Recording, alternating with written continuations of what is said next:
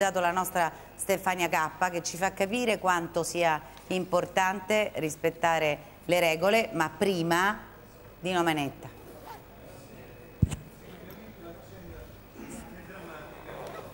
L'ironia si può applicare su qualunque tema.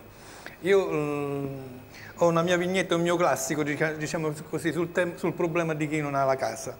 C'è un omino che ha sulle spalle una grossa chiocciola ecco che adesso lo vediamo, e chiede a un altro, tu, lei come ha risolto il problema della casa?